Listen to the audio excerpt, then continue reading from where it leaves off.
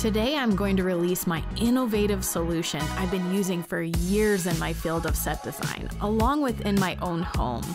This has been my secret weapon for adjustable design. To begin, we mill down finished hardwood planks with a French cleat edge. French cleats are used a lot in garages and pantries for organizational purposes.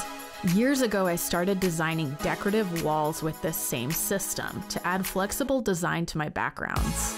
Once the planks are cut, I use a disposable stain brush to create a natural stain on the hardwood planks.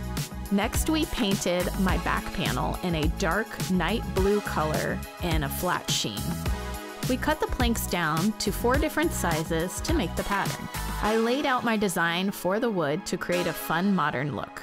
Next, we take the measurements, make sure the boards are all leveled and evenly spaced. Then it's time to attach the planks. Our planks will be holding weight with shelving. In order to secure the unit, we design the back panel with studs.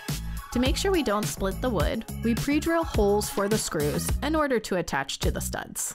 Once everything is attached, then the panel walls are put in place.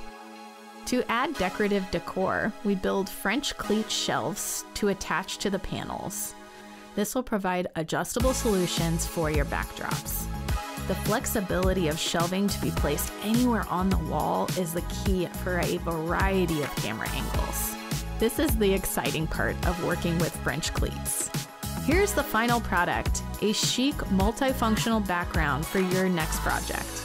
Follow us for more innovative tricks on set design for your DIY projects.